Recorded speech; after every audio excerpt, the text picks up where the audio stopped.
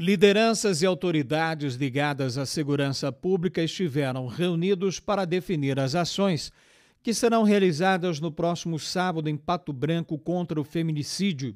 Será uma caminhada às 10h30 de sábado, 22 de julho, evento que faz parte da campanha estadual Paraná Unido no Combate ao Feminicídio. A iniciativa prevê a realização de caminhadas descentralizadas em vários municípios paranaenses e Pato Branco aderiu à proposta. Nós, em Pato Branco, no município de Pato Branco, sabemos é, do, do interesse e da preocupação do prefeito municipal com relação a tudo o que acontece no nosso município. Então, o, o governo do Estado do Paraná, juntamente com a Secretaria da Mulher é, do Estado do Paraná, a secretária Leandre Dal Ponte, está fazendo um movimento no dia 22 no próximo sábado, é contra o feminicídio no Estado. Né? Então, várias cidades estão aderindo a essa caminhada e nós, de Pato Branco, não poderíamos ficar de fora.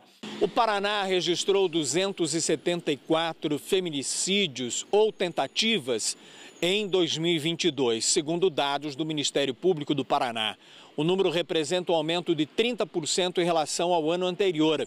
A boa notícia é que no primeiro semestre deste ano, segundo a Secretaria de Segurança Pública, tivemos o menor índice para o período desde 2019, quando passou a ser considerado este tipo de crime específico, que é o praticado contra a mulher por questão de gênero.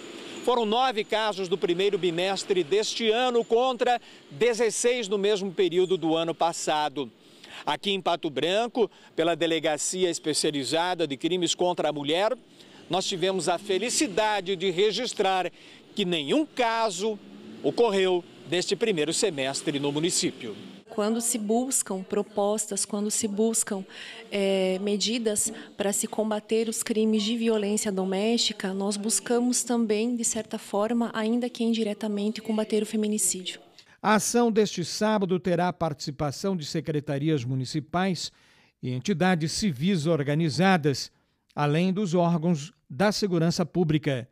O objetivo é levar o tema ao debate para a violência contra a mulher.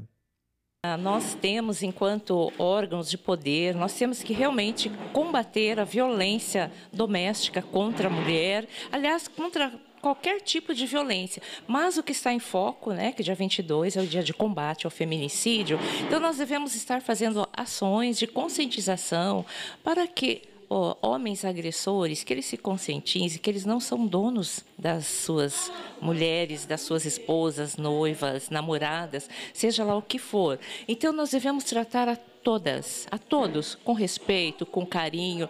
Então, é sempre bom estar é, fazendo essas reuniões, né, para poder é, agregar é, conhecimentos e, e poder melhorar toda a situação de segurança, né, do feminicídio. Então, é, essas reuniões vêm trazendo ideias para que todos nós trabalhamos na sociedade para que é, as pessoas sejam bem atendidas e, e que não aconteçam esses, esses problemas, né?